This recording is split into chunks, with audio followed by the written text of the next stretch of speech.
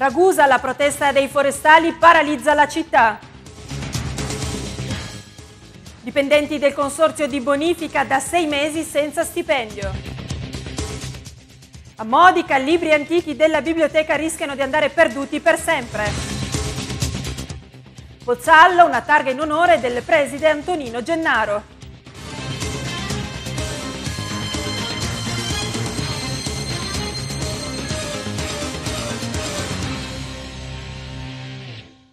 Bentrovati con l'informazione di Canale 74. Questa mattina a Ragusa la protesta dei forestali che ha paralizzato la città. Sentiamo. Hanno manifestato questa mattina davanti alla loro sede i forestali di Ragusa paralizzando la città, una protesta che si muove perfettamente in linea con tutta la Sicilia. A manifestare sono infatti tutti 20.000 forestali siciliani. Da questa mattina i forestali del corpo ragusano hanno protestato tra Viale Europa e Via La Malfa. Noi siamo in blocco, abbiamo bloccato intanto qua Corsa Italia, diciamo davanti alla prefettura e così via. Ad oggi praticamente ci sono due blocchi sulla provincia di Ragusa, ripeto, uno è fatto su Viale Europa, uno è fatto qua davanti alla, alla prefettura. Eh, la problematica è che i giorni passano eh, e praticamente non si arriveranno a fare le giornate di copertura e di fascia di garanzia occupazionale. E proprio questa mattina, in contemporanea con la protesta, si è svolta a Palermo la riunione decisiva della Commissione Bilancio, che ha messo una pezza alla situazione, sbloccando i fondi che permetteranno ai forestali una settimana di attività.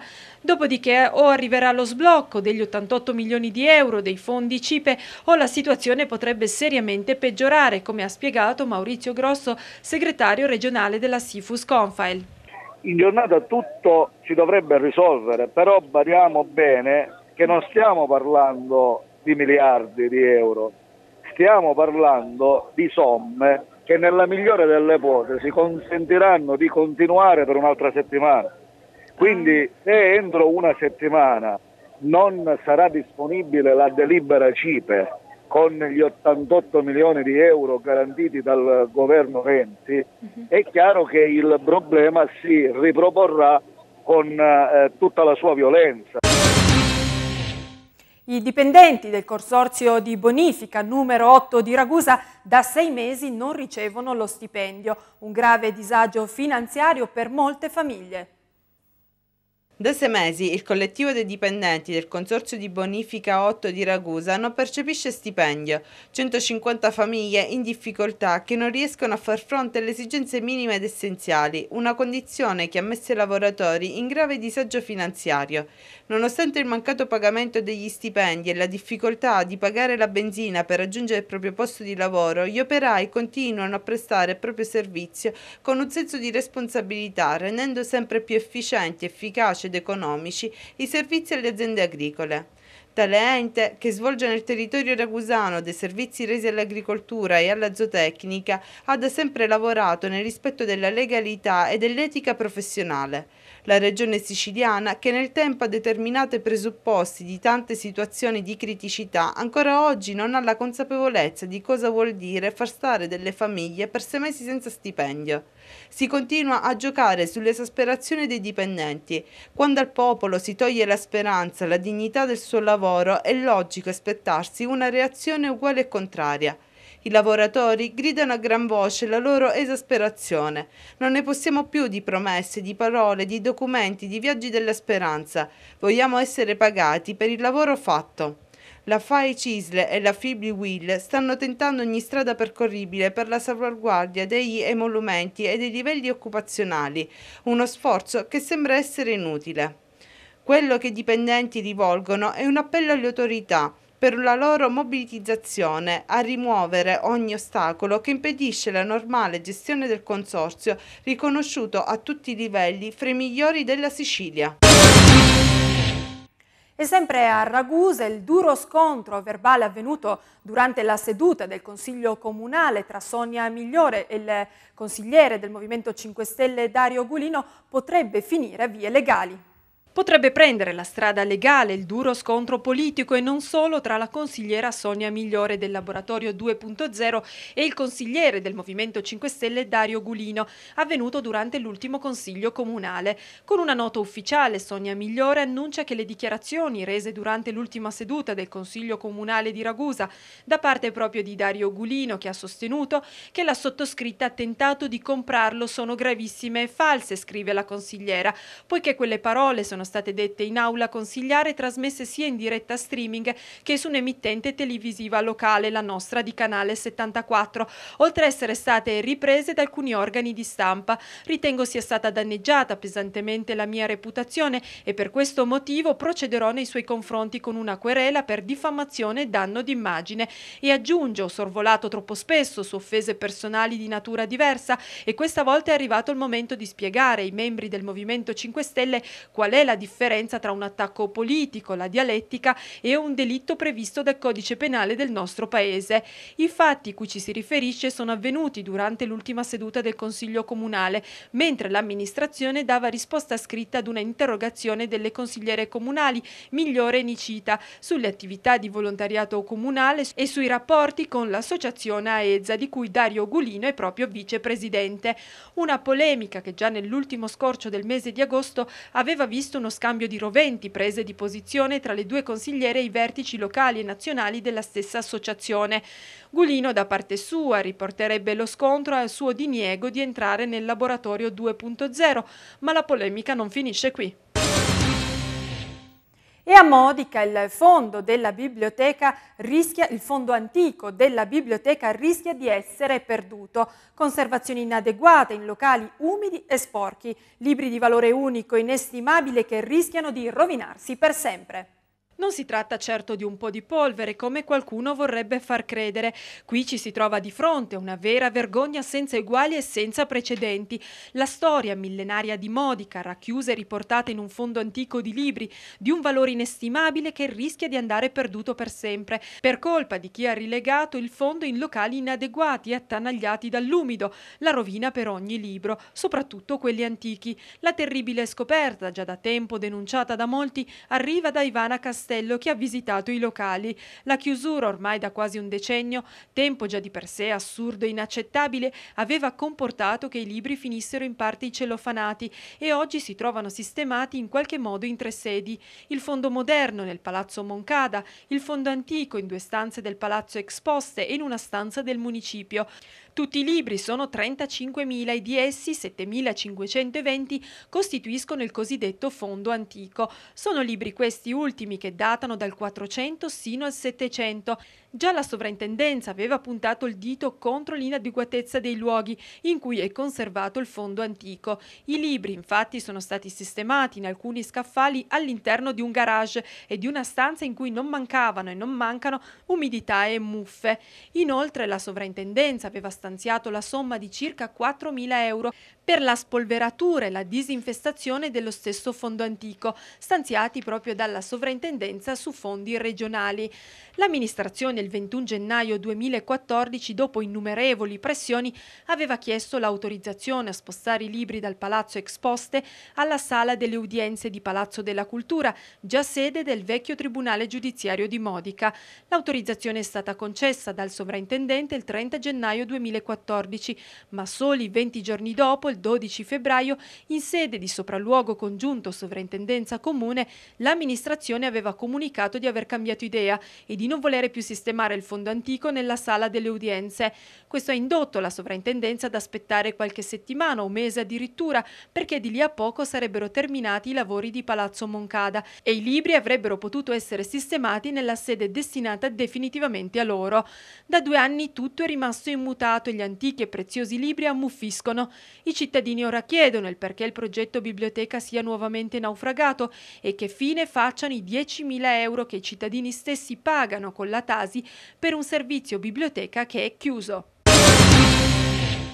E ora la cronaca, Niscemi tentata estorsione, arrestato un giovane dai carabinieri. I carabinieri della stazione di Niscemi hanno tratto in arresto in flagranza di reato per tentata estorsione un giovane niscemese di 27 anni.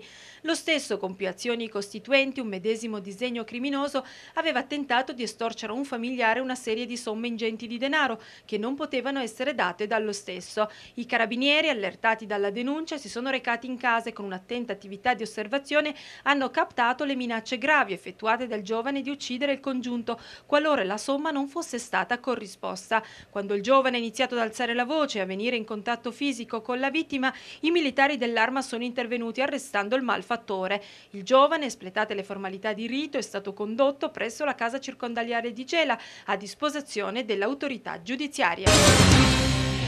E ora ci fermiamo, c'è la pubblicità. A tra poco.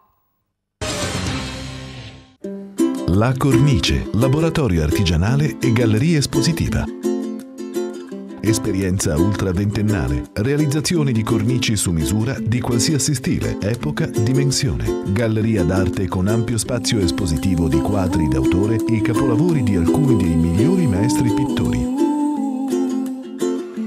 A Modica www.lacornicemodica.it L'agenzia Onoranze Funebri Assenza è un'azienda familiare che da 26 anni mette al tuo servizio tradizione, innovazione, onestà e trasparenza. Un servizio sempre puntuale e impeccabile alla portata di tutti, mettendo a disposizione la propria professionalità con discrezione e affidabilità per l'estremo saluto al vostro caro. Assenza. Onoranze funebri dal 1989 a Modica, in corso Sandro Pertini 60.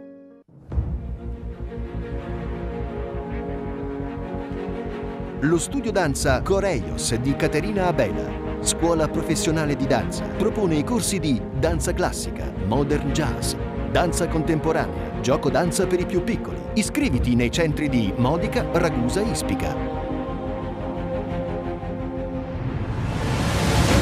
La professionalità che fa la differenza. Info al 333 32 53 492 a Ragusa il 15% in più nella domanda di credito da parte delle aziende. A rilevarlo il CRIF che parla di segnale positivo per l'economia.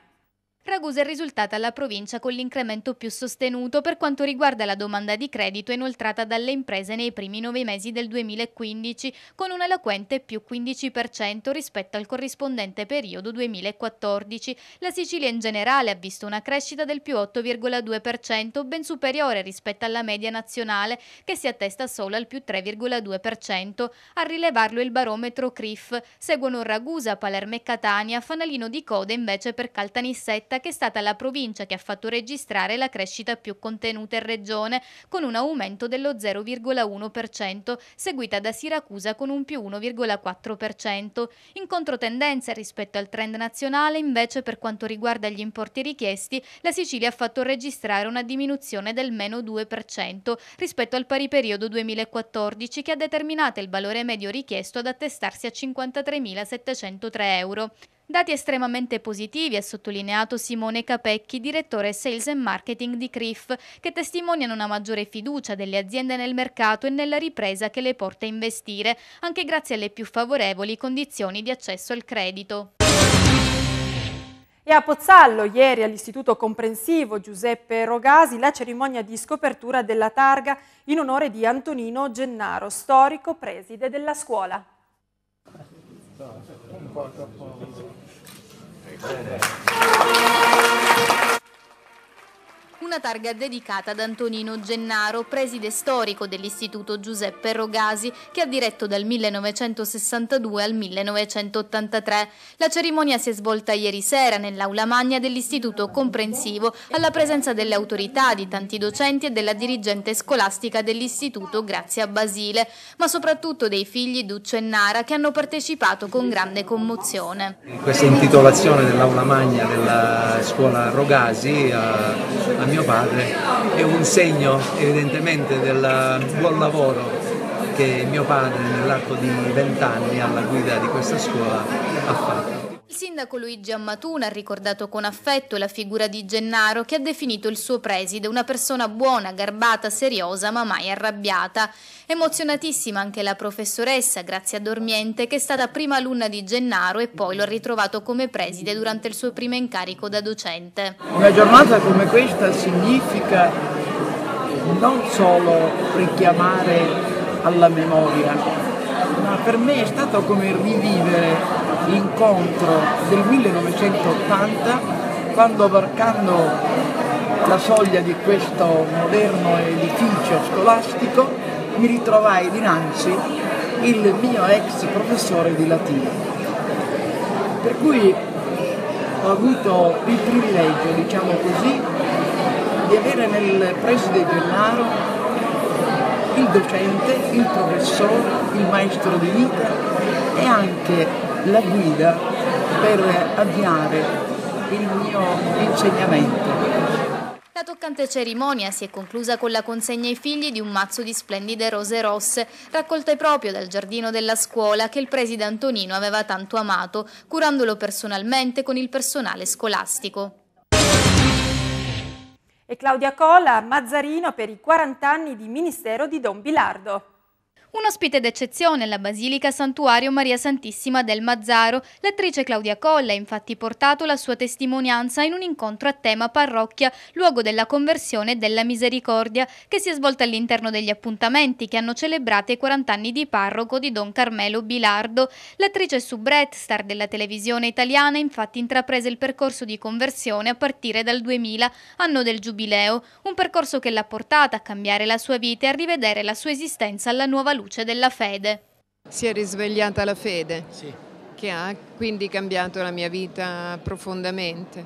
Ho ritrovato il senso della mia esistenza, perché alla fine mi sembrava di girare, di girare, ma di non trovare il senso del mio esistere. E quindi diciamo, il Signore ha dato concretezza vera alla mia vita. Il Signore ha dato a questa nostra sorella il dono della fede, che magari era sopita, era nascosta e poi gli ha dato la gioia di riscoprirla e di viverla in maniera molto forte e con tanta gioia. Bene, con questo è tutto, il nostro telegiornale termina qui, io vi ringrazio per l'attenzione e arrivederci.